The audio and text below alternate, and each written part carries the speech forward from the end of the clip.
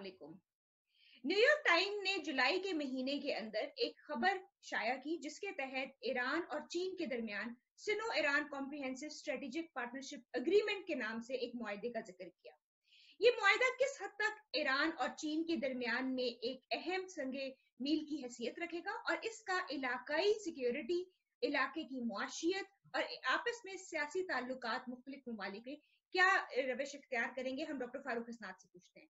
Doctor Farooq हसनाद आपका क्या ख्याल है कि ये पूरे खत्ते की सिक्योरिटी और मुआशी और सियासी ताल्लुकात के ऊपर किस हद तक ये मुआदा असरअंदाज होगा? अच्छा सबसे पहले ये मुआदा कोई आम मुआदा नहीं है। और जैसे आपने खुद ही कहा कि 25 साल 25 साल बहुत होते हैं। हम्म। और उसमें जो इन्होंने जिन शोबों की तरफ़ इशारा किया है वो बहुत ही वसी हैं। यानी वो इकतसादी मामला से लेकर, तेल के मामला से होते हुए, ईरान का जो इंफ्रास्ट्रक्चर है, उसको बनाने से लेकर और फिर सिक्योरिटी और उनकी जो स्ट्रेटजी है, उस तक।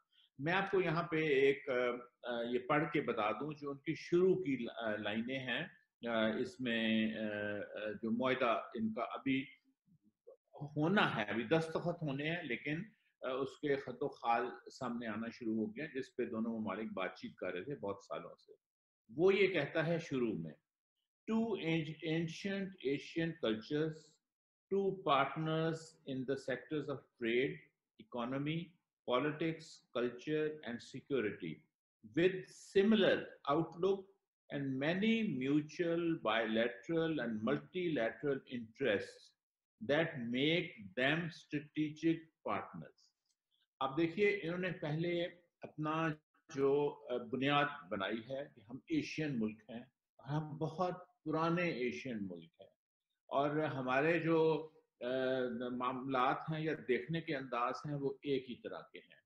और हम इसलिए एक मुआदा करने चले हैं जिसमें जो मैंने अभी आपको पढ़ के सुनाया कि कितनी वसी उसमें शोबे ये किए गए। देखिए, इसमें दो तीन चीज़ें हैं जो कि हमें जहन में रखनी होगी। एक तो ये है कि ईरान ने हमें पता है 2015 में जौहरी मुआदा किया, जिसमें अमेरिका और यूरोपियन ममालिक भी थे, उसमें चीन भी था, उसमें रूस भी था। और फिर सदर ट्रंप ने बगैर किसी सोचे समझे, बगैर किसी वजह के उसको ख़त्म कर दिया।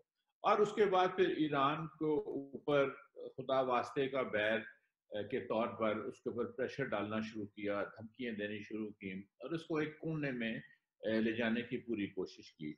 और वो सब इसलिए कि ये एक्सट्रीम राइट क्रिश्चियन जो माफिया है वो अमेरिका में इस पर हुकूमत कर रहा है। पॉम्पियो हो, उसका ट्रंप खुद भी हो, और जो रिपब्लिकन पार्टी है सारी।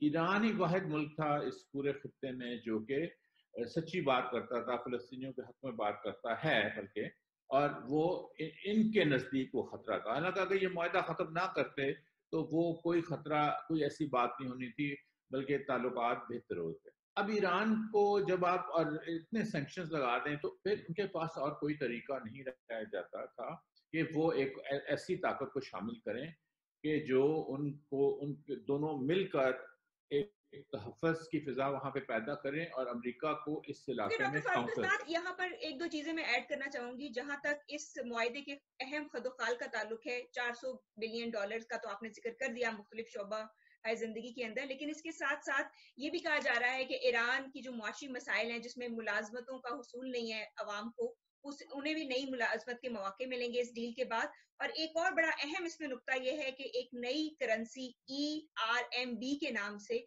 जो कि अमरीकी सिस्टम को बाईपास करेगी इस डील के तहत। जिससे हम ये भी देख रहे हैं कि खत्े के अंदर जो डॉलर की एक साख बरकरार थी और उसको एक समझा जा रहा था और एक इस्तेमाल भी किया जा रहा था इंस्ट्रूमेंट के तौर पर अमेरिका की तरफ़ से ईरान को धमकियाँ देने में तो उसको भी एक कंट्रोल पोजीशन में लाने की कोशिश होगी। क्या आपको लगता है यहाँ मैं, मैं यहाँ मैं छोटी सी माफ़ कीजिए। छोटी सी मैं बात करता हूँ। एक अभी हाल ही में किताब आई है हैज़ चाइना वन मुबानी की। जी। सिंगापुर के वो, सफारतकार हैं। जी। उसमें उन्होंने बहुत ज़ोर से आर्ग्यू किया हुआ है कि अगर अमेरिका ने ज़रूरत से ज़्यादा सैंक्शन इस्तेमाल की और डॉलर की करेंसी को इस्तेमाल किया दूसरे ममालिक को दबाने के लिए इनको जेर करने के लिए तो फिर वो वक्त दूर नहीं है जब वो ममालिक मिलकर अपना एक तरीका कार बनाएँगे या नई करेंसी लाएँगे। और उससे अमेरिका की जो साख्त है, जो डॉलर की वजह से बनी हुई है, वो खत्म होकर रह जाएगी और ये जो सेंक्शन लगाते हैं, इनकी कोई अहमियत नहीं रहेगी। तो ये मैंने कहा, ये नुकता मैं इसमें बता बिल्कुल, बहुत बहुत शुक्रिया। एक और इसमें बड़ी अहम बात है इनके आपको पता है कि ईरान का बहुत बड़ा जो है, वो रेसिपेंट है चाइना ऑयल का। और उस हिसाब से ऑयल की कीमतों में काफ़ी उनको रियायत हासिल होगी इस मुआदे के तहत। तो उनका एक तो मशरक वस्ता के अंदर असर रसूख बढ़ जाएगा और वो एक ईरान इसको एज अ काउंटर चिप भी इस्तेमाल करेगा अमेरिका के, को काउंटर करने के लिए। लेकिन यहाँ पर एक और भी बड़ी अहम बात है, जिस तरीके से ईरान कोशिश करता रहा है न्यूक्लियर डील को बचाने की, मुख्तलिफ़ अंदाज से उसने जर्मनी ब्रिटेन फ्रांस इन सबसे भी मुख्तलिफ़ मौाक़े के ऊपर जवाब जरीफ ने कहा कि आप इसमें कोई अहम किरदार अदा करें वो नहीं कर सके। तो एक पूरा उनकी डिप्लोमेसी का फेलियर है इस वक्त अमरीका की जो खारजा पॉलिसी है उसका भी फेलियर है कि किस तरीके से उन्होंने ईरान के मामले को डील किया है। आपने तेल की बात की यहाँ पे तो उस मुआदे में ये भी है जो मुआदा जब सामने आएगा तो पता चलेगा और कि 25 साल ईरान चीन को तेल देगा। इसका मतलब उन्होंने अपनी जो एनर्जी की ज़रूरत है उसको महफूज कर लिया है। मैं ये कहना चाहूँगा कि जो इस किस्म के माहे होते हैं वो मुश्तर जो मफादात हैं उनको सामने रख के किए जाते हैं। लेकिन जैसे मैंने पहले कहा धिक्का तो उनको अमेरिका ने दिया पुश तो कोने में उन्होंने लगाया लेकिन लेकिन इससे पूरा खत्े की सियासत और इस वक्त ये जो अरब मुल्क हैं खलीजी ये डर के मारे बुरी हालत हो रही होगी। खास तौर पर क्योंकि हाँ ये ये ये ये बड़े बने हुए हैं अमेरिका के सहारे। ये सोच भी नहीं सकते थे। हम नहीं सोच सकते थे। पाकिस्तान के लिए ये बहुत एक नई खबर थी क्योंकि अच्छी खबर है क्योंकि सी पैक भी तो यही है ना कि बहुत लंबे म्याद के लिए रोड इनिशिएटिव के ऊपर हम डॉक्टर फारूक के साथ अभी आगे आते हैं। बिल्ड एंड रोड इनिशिएटिव का इसके साथ जो लिंक है उसके ऊपर हम आगे आते हैं।